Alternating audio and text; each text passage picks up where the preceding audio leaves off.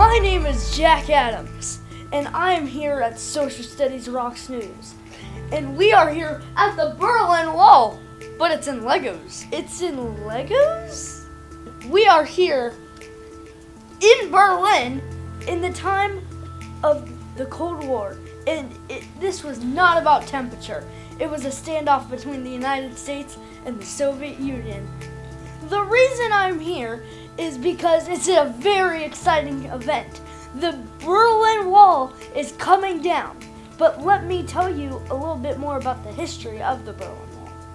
So it started out in 1961 when the Soviet Union built a whole wall around East Germany so they can spread communism around all of Europe. So let me take a stop here. That was expansionism. And that's when a certain group of people try to spread their ideas. In this case, that was communism around the whole world so then they'll have pretty much all control. So let's keep going. Now, what the Soviet Union also wanted to do is since they built the Berlin Wall, they didn't want any of the East Germans going out because if they had less population, then it would just be more territory for the Soviet Union. Actually, the Prime Minister of England, Winston Churchill, predicted this before it ever happened. He said that an Iron Curtain would fall over Europe, and look now, it did. I forgot to mention this, but at the end of World War II, Germany was split up into four sections. The United States had one section, France had another section, and Britain had another section. And then the other section was for the Soviet Union. All of those were the Allied powers in World War II, but the Soviet Union had its own plan. As you can see here in this propaganda picture, this was the Soviet Union's plan to control all of Berlin. Now, you think this is a cute teddy bear with a Soviet Union hat on it, but guess what? He has blood on his claws, and that is not good. Roar. You're probably wondering, did this wall really cause more tensions between the United States and the Soviet Union? Let's ask one of the Border Patrol guards for the Soviet Union, also known as the Grenztruppen. So, tell me, nice sir, what's your name? My name is Sven.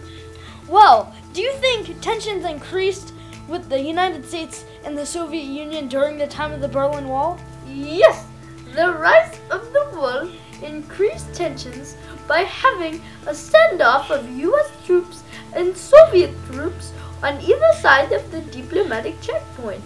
That's right, Sven. The tensions did increase between the Soviet Union and the United States. A matter of fact, the US condemned this wall. The United States did not want the spread of communism. That was called containment. So, the United States wanted to stop the spread of communism, a lot of people on the East German side also wanted to stop the spread of communism. Like a man named Wolfgang Engels, he took a rundown tank and drove it straight into the wall and was able to escape exactly from that, as you can see here. And that was super dangy because everybody that tried to escape would get shot by the Grenztruppen or the Soviet Union Border Patrol. That's Sven. Yes. Now that I've talked about the history of this, we can officially say that this wall might be coming to an end. Hold on. Wait. I'm getting news that Ronald Reagan is going to make a speech right now. Hold on. Wait. Mr. Gorbachev, tear down this wall. Whoa! Now, everybody, this is very exciting for all the people in East Berlin because now they can be reunited with their families on the other side of the wall. This is going to be awesome for everybody in West East Berlin, West Berlin, and the whole entire world. This is Jack Adams signing off of Social Studies Rocks News.